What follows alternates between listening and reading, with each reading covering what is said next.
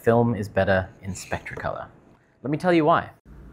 What's up everybody, Dan from Cinestill Film here with a wonderful announcement.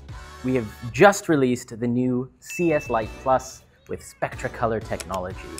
What is it? Well, I'll tell you what it isn't. It's not just some updated version of our old CS Lite, it's something else entirely.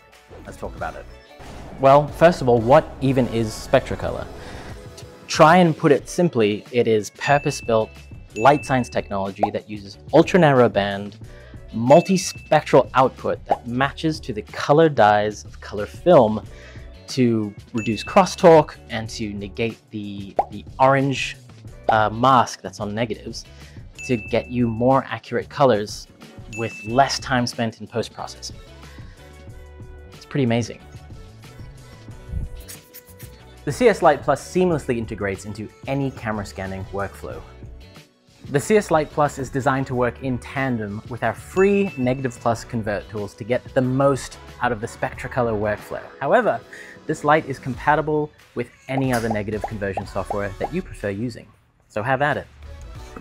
The CS Lite Plus is available for pre-order right now. We not only made this for ourselves, but we made it for you, so you can get the most high fidelity results out of your negatives as possible that stay as faithful to the film that you shot, because that's why we shoot film anyways. Because film deserves better than close enough, which is why we believe